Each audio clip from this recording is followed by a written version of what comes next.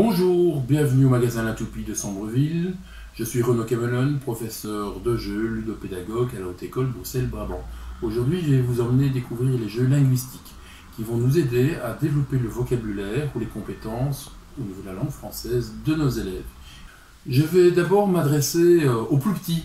Et donc, on a une super collection Kaleidos. Un Kaleidos, ce sont des superbes images, une composition artistique de paysages avec des éléments, avec des objets, et on va mobiliser euh, euh, toute une série de vocabulaire, de mots de vocabulaire, en fonction de la lettre qui a été tirée.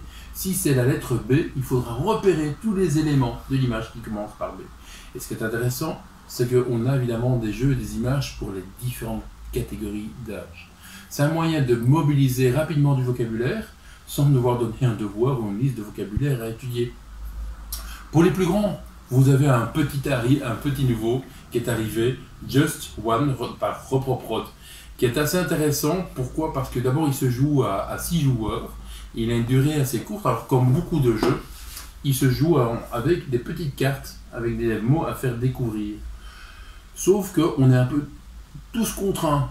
Il y en a un qui doit deviner et les autres vont donner des indices. Attention, si par exemple on essaie de faire deviner le mot série, vous allez peut-être dire série, ça vous fait penser à film. Mais si tout le monde met film, c'est pas bon, ça va être annulé comme indice. Donc il faut être à la fois créatif, aller vraiment dans le champ lexical du concept qu'on va faire deviner.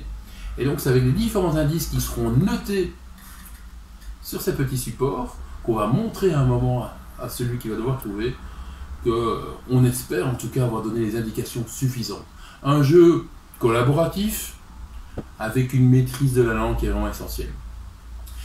Et je ne pouvais pas quand même ne pas vous parler de Dixit. Alors vous allez remarquer peut-être, je n'ai pris que les extensions.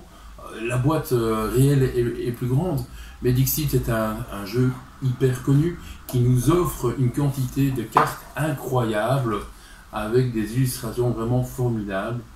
Je vous le conseille aussi parce qu'il faut trouver le juste mot, la juste expression pour permettre à certains joueurs de découvrir l'image que vous avez sélectionnée parmi d'autres.